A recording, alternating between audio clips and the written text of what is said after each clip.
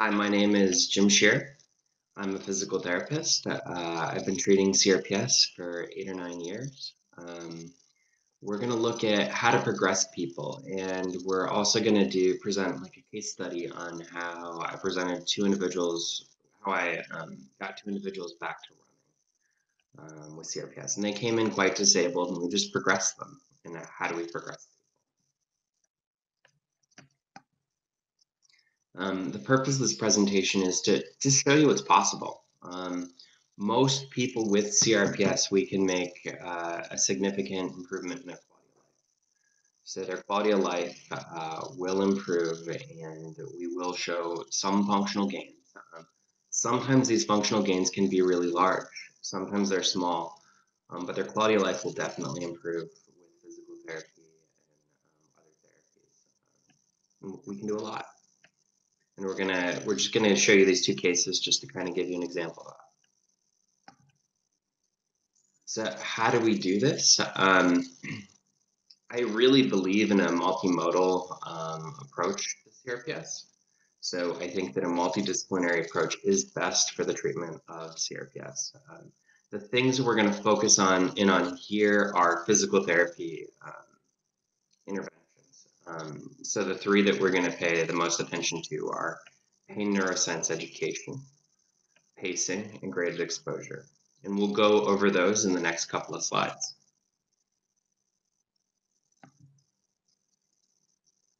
So pain neuroscience education, it's a form of cognitive behavioral therapy, and it's been done by physical therapists since uh, 2002. It really started with um, a book by uh, by David Butler, um, Explain the Pain, um, and that's that's when that kind of whole movement started out of Australia, and now it's spread and it's really the research is just growing and growing and growing on it. Um, the goal of it is to uh, de-threaten pain. So there's a lot of catastrophizing. There's a lot of fear avoidance. There's a lot of other factors that come up, come up, um, depression and anxiety that come up as a result of the pain and that's that's the individual's reaction to the pain. And although it's hard we can we can lessen those factors. And education is a good way to do that. So understanding that uh, that pain doesn't mean that you're damaging yourself understanding that pain doesn't mean that it's going to get worse in the future um, and understanding your pain it, it unlocks the brain a little bit um, and it helps it helps um, calm down the nervous system. It helps release those natural opioids um, that are in the brain. So it unlocks kind of the drug cabinet in the brain. There's a lot of natural opioids that are produced in the brain. Um, and when we're afraid and when we think there's danger in the world around us, we, we shut down that drug cabinet. That drug cabinet's not open to us. Um, and we, we tell the body that yes, it does need to be in pain the, the brain sense it doesn't it doesn't inhibit any of that. So understanding pain is the first step. Uh, so there is a measurable response in the brain to pain neuroscience education. So this is 25 minutes of pain neuroscience education, um, and this is the effect that it can have. So what we're looking at is in this top column um, or top row, uh, row A, um, right here we see um, a dancer. She's going to have, she's had uh, back pain for years and years and years, and she's going to have back surgery in a couple days. And she's just laying in the, the MRI machine, and the fMRI machine. We're looking at her brain, and she's not doing anything. The second column right here, they asked her to do a painful movement. I believe it was a pelvic tilt. So they said, they said, um, go ahead and just tilt your pelvis back and forth. And she experiences pain with that. And we watched what areas of the brain lit up and what areas of the brain had blood flow. And you see all this activity in the brain. Um, that's what this is. This is this is the representation of the blood flow in the brain, and this is an indication there's uh, activity going on there. So you see all this activity right there.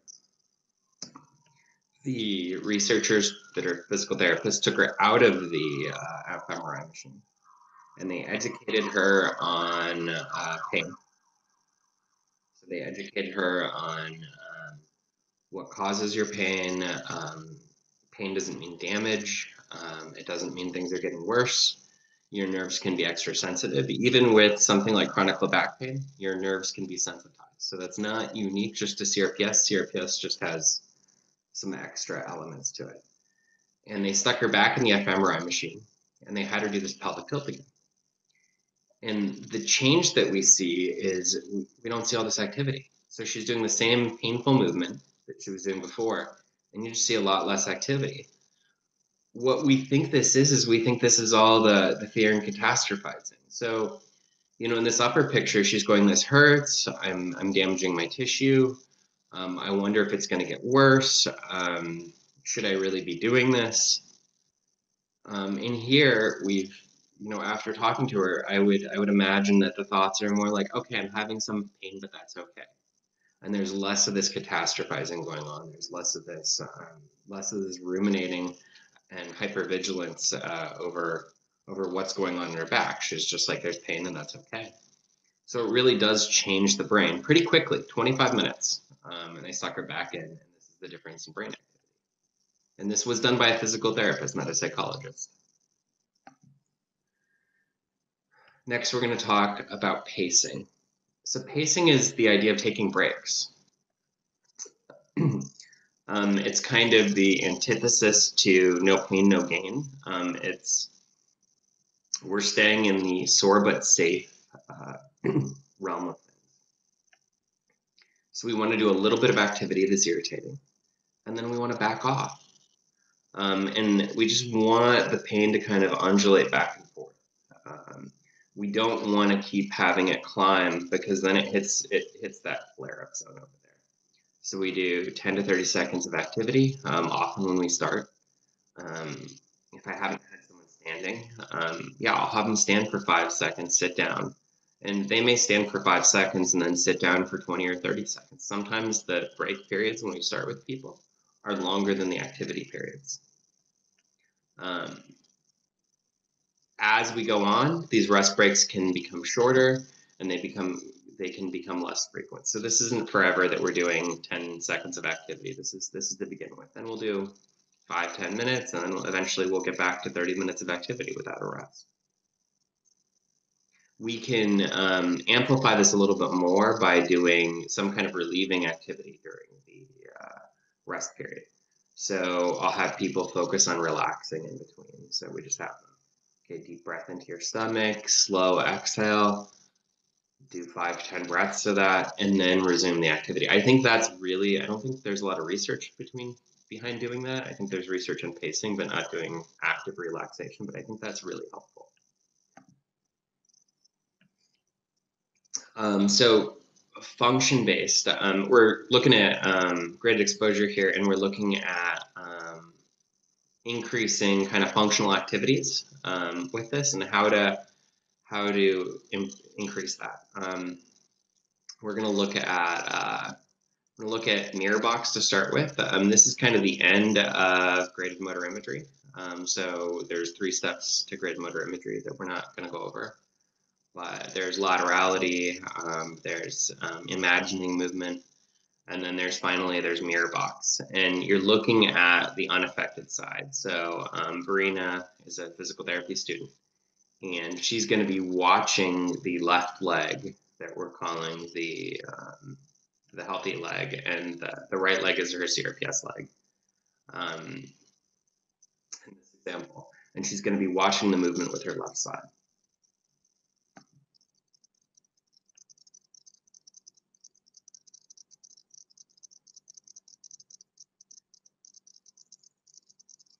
So she's just watching in the mirror her left side move. I will have people flare up with this at times. They really have not used the uh, um, the affected side um, often. They they can't have a flare up. So she starts with just movement of the of the left, and then we might throw in pain-free movement. So she's noticed she's doing a little bit less movement with the right and big, large movements with the left, um, kind of mirroring that movement and then we up the intensity level and the threat level um, of what she's watching in the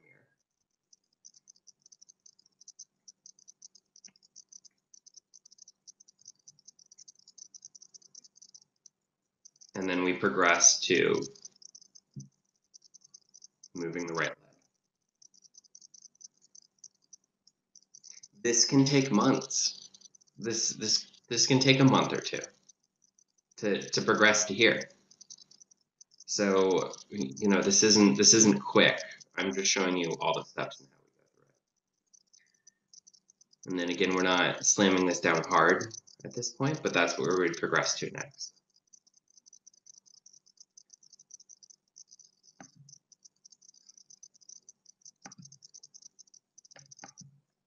Okay. We're going to look at um, starting to do more weight bearing. so this would be an individual that um, hasn't put any weight on the foot at all. Um, and what we're doing is we're just putting a little bit of weight through the foot and then backing off. A little bit of weight through the foot, back off. I like using a scale like this um, because we can really measure it. Um, and then they can, they can change that as they go along. So if she were using crutches, um, these aren't the kind of crutches we'd like for someone with CRPS. We'd like ones that didn't, that had like a mesh top to them. But if you were using crutches.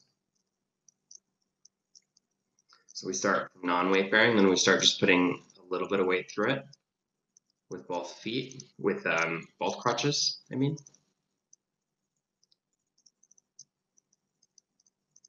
And then more weight through it with the support of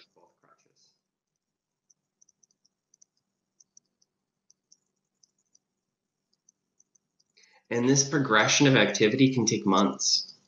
You know, what you're seeing right here is not, this is not done in one session. Um, occasionally we get quick, quick results and we do get quick changes like that, but this is over months. We take away one of the crutches and now we're just using one crutch for support.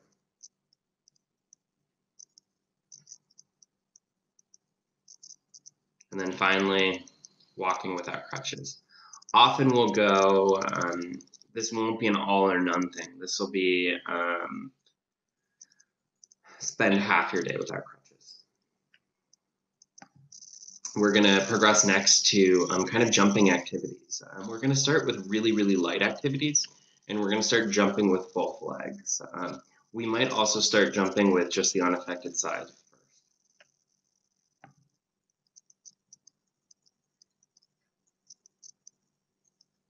So again, low, low, low resistance.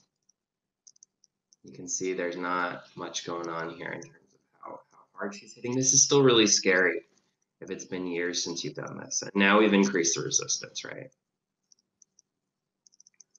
And we're doing both feet, then we progress to one foot.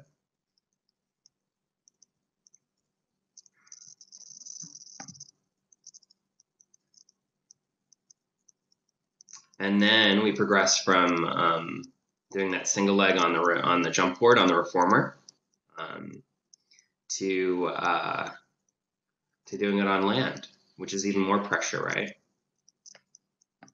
I want you to notice we do like two or three jumps, and then we take a break and we let the symptoms calm down. So you know, even while we're doing graded exposure, we're we're kind of practicing pacing in it, and we'll do this for a while, and we'll we'll see how they do with it. Um, they if the symptoms increase and they stay flared up, then we'll back off a little bit. But um, we just do this little, little, little exposure. And then after a while, after we've done that for a little bit and that seems fine, then we progress back to this. It's okay to have some pain during this, um, these activities. Um, I want the pain after a session to calm down within 24 hours. Um, that's kind of the upper limit is 24 hours. I'd really like it to um, within 20 minutes to a couple hours afterwards. But if, if it's 24 hours that it took to calm back down, that's great. I want the same level of activity every day. And then we progress from like running to jumping. That seems really easy. This takes months.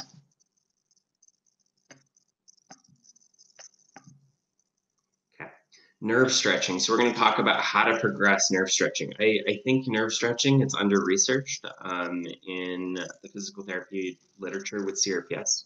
I see very quick changes by doing um, nerve stretching. So we're going to start. Remember, her right leg is her affected side. So we're going to start with nerve sliders on the left. Um, we may start halfway through all this stuff. We're showing kind of from very low level of function um, up to higher level function. We may start in the middle. This is individualized. Um, we're just starting with the left and the unaffected side just to kind of show you um, how to progress when it's when it's a little more irritating, a little more severe. So we're flossing there. So she's tensioning that side, now tensioning over here. Tensioning, tensioning, tensioning at the foot, tensioning at the back, relaxing the foot. So this is very, this isn't very aggressive at all. She's not doing um, tensioners, she's flossing. So tension, relax. And now she's tensioning on both sides. Again, on the unaffected foot. And she's doing it herself. So that's a little less threatening.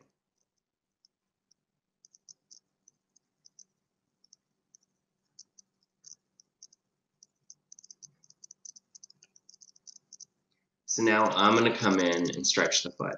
And again, we're saying that the right leg is the leg that she has CRPS on. She doesn't have any symptoms in the left. So I'm coming in and cranking on that nerve, and I'm really cranking on um, the peroneal nerves here. And it doesn't feel very good, even with someone without symptoms. But I still haven't even progressed into the right leg yet. So after you know we've done that for a little bit, um, we'll uh, we'll start tensioning the right leg, or we'll start doing um, sorry flossing with the right leg, or sliders with the right leg. So we're still just flossing the nerve back and forth. Now we're tensioning. So she's pulling on both sides of the nerve, from the spinal cord and from um, and peroneal.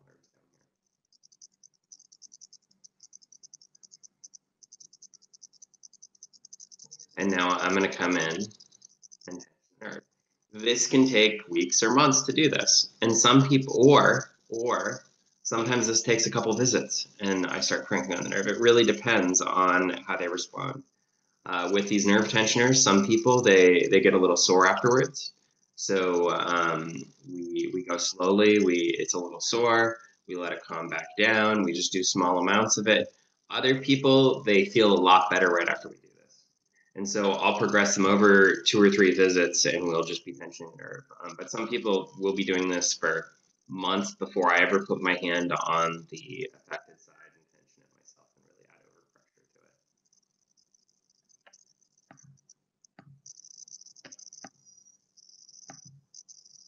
to it. Okay.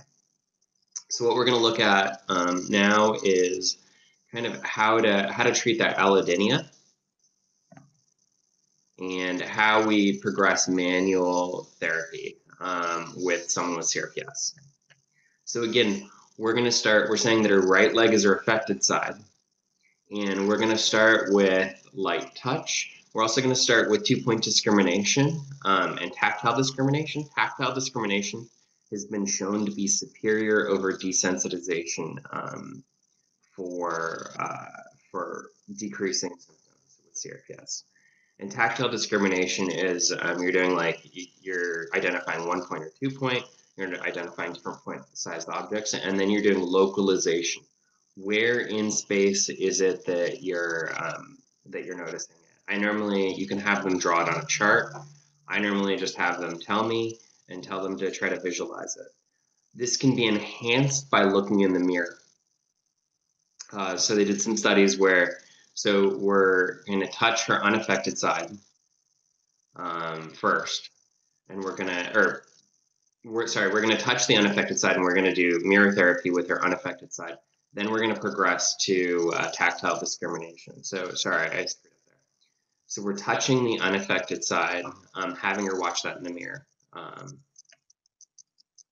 and we can be more aggressive with it. Remember, there's no pain in this left leg we have her start touching the affected side. This is less threatening than me doing it.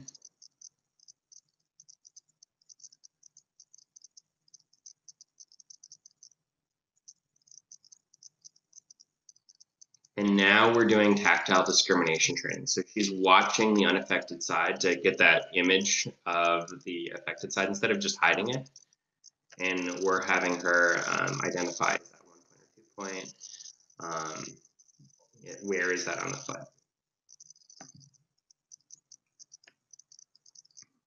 Now we're going into um, doing some joint mobilization. This, this whole process from going from touching the left foot to doing tactile discrimination to doing joint mobilization, this can take months. We're kind of going through the whole gamut here of what we might do, but this months and months and months. This is not a quick process.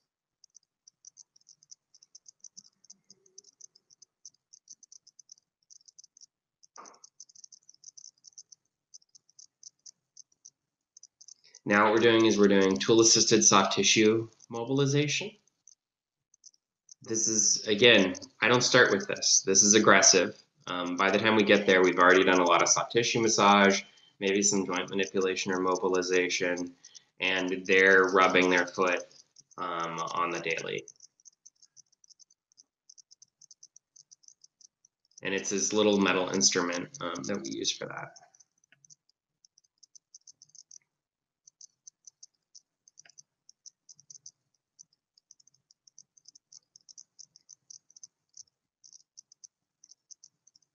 Um, anytime I do any kind of manual therapy, um, joint mobilization or soft tissue, I always have the patient do that at home. I don't want this to be some magical procedure that I'm doing in the clinic that they can't do in their home. It's really, really, really important for them to be able to do that on their own. Um, and to support that at home. And now um, I'd give her, I'd tell her to do this with like a butter knife. Now I'm having her do the tool assisted soft tissue mobilization we don't start here. We don't start here. Again, we might start with mirror box, having them watch um, me or them or uh, themselves touch the other foot.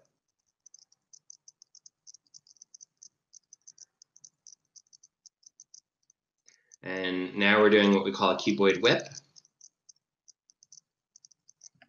And that would kind of be one of the last things that we would do there, right? So we just really progress again from look at what having them watch me touch the other side to touching the foot themselves.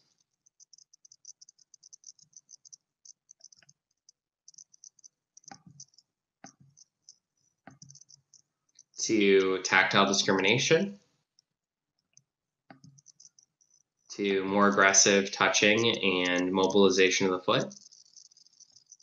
And we just progress. And this can take months. Um, so the ideal progression of mobilization and activity and light touch and all that stuff. The ideal would kind of be um, this red line right here. So what we see is we just see these small little steps up. What you're going to see in the chart is um, that I divided it into first day and early stage, then middle stage, um, then late stage, um, you're going to see big steps. But that's not actually what we did or what we go for ideally. We just try to do really small little steps, kind of keep it there for a little bit, and then do another small little step up, keep it there for a little bit. And these are really, really small little steps, and it takes takes a long time. You know, there maybe 30 to 50 of these little stair steps um, over a period of time with uh, CRPS what happens in real life is not this nice little stair step pattern. Um, what we actually see is, uh, okay, we went up, it seems to be good, they got stressed out, or for no apparent reason whatsoever, we had a flare up, we had to back back down.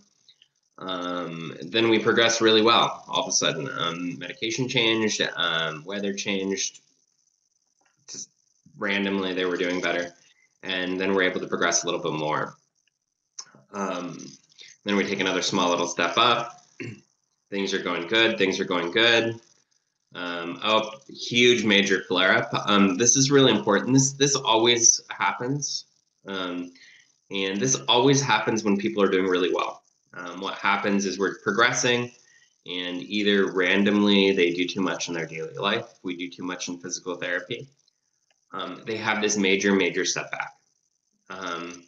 And I say major setback, but it's a major setback to them, but it's it's normally very short lived. So their pain spikes, um, their symptoms get way worse. But this often, if we've had this nice progression this whole time, when we see this flare up, um, if they've been doing well for for a couple months, this doesn't last very long.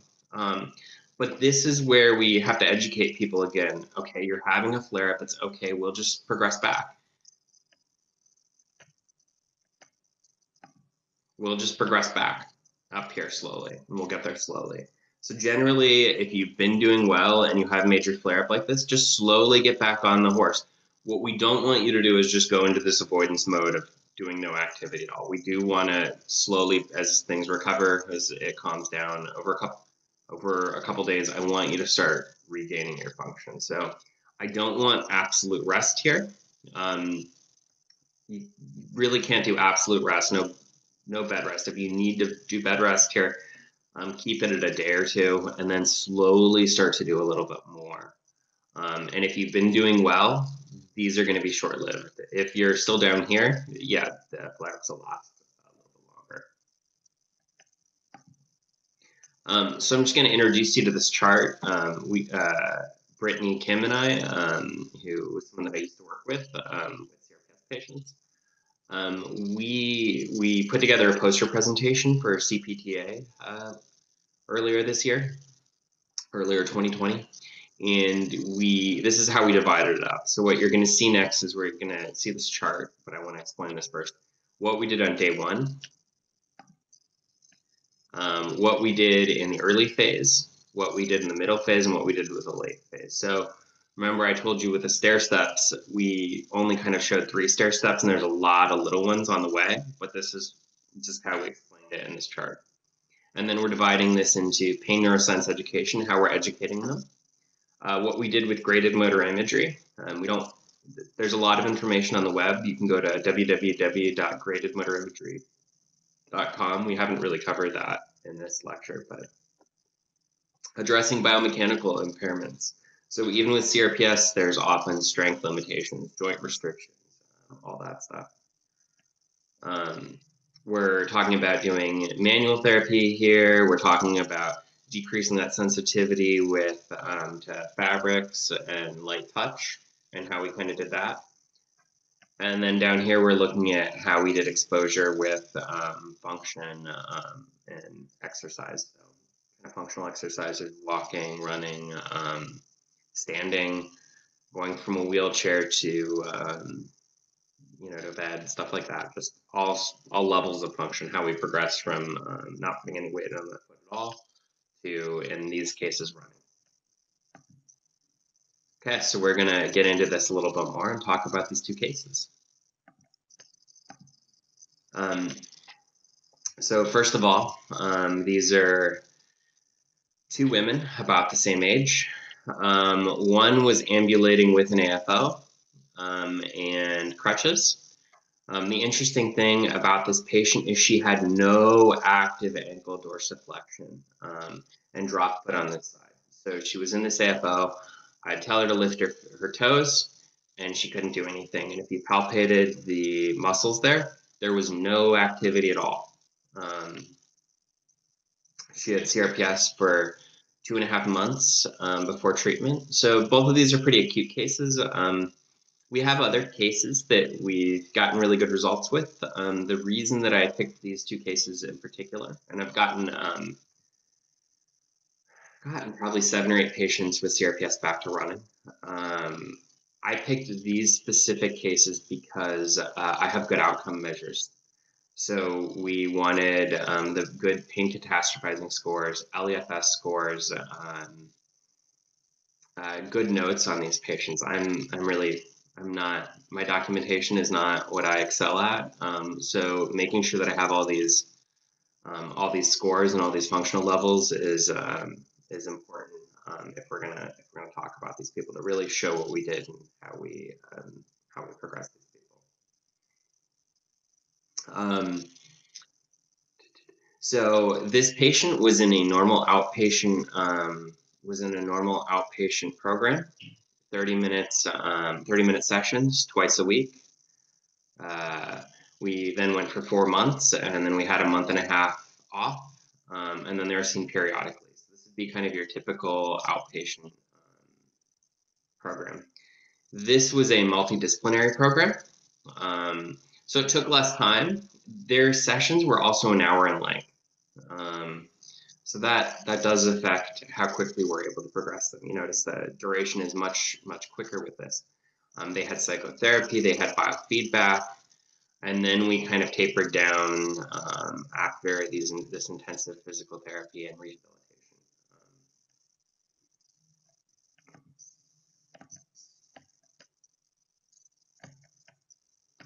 What did we do? So we introduced the neurophysiology of pain um, and pacing. So we introduced these concepts. We, we talk a lot about, um, again, de-threatening what pain is and understanding it so it's not as scary. And then we, we explain to them, we put this under pain neuroscience education because we're, this is the education about pacing and graded exposure. So that that information that I shared about you about how we slowly do more, we share this um, and educate them on how to do this on their own and how we're going to progress this in the clinic. So this this becomes this gets applied to not only um, what we're doing in physical therapy, but they start to apply this to their whole daily life. Um, we talk about um, self-management. So uh, JB here, um, she would um, she would have less pain when we did nerve glides and nerve stretching. Um, and um, she tended to kind of go into these boom bust cycles where she just pushed too much. So there was a lot of education on um, using nerve glides to decrease symptoms, um, taking rest breaks, stuff like that. I'm kind of in this early phase here. SS, um, uh, she would she would use all these this colorful language explaining her symptoms. Um, and it was it was kind of threatening language. Some of the some of the things that i've heard is it feels like a volcano's um, coming out of my leg. We we think that those metaphors that we use and that visual imagery we think that that actually can increase the threat to the nervous system. Um, so we want to use neutral language. Um, again focused a lot on pacing and what to do when she flared up a lot of education on how to manage um, symptoms um, on our own. Um, introduce like functional activities. I don't know if it's on here, but you know, starting to wear shoes and stuff like that. I think that's down below. Um, and then eventually, you know, we get them to to understand. Oh, this is how I do this on my own. This is how I apply this on my own. So graded motor imagery. Um, I don't. I think we started like halfway in with these two individuals. We didn't do. Um, we didn't do the uh, laterality training. We didn't do explicit motor imagery. Oh, I guess we did do. We did some explicit motor imagery. We did do some imagining of walking. We did do an imagining um, activities.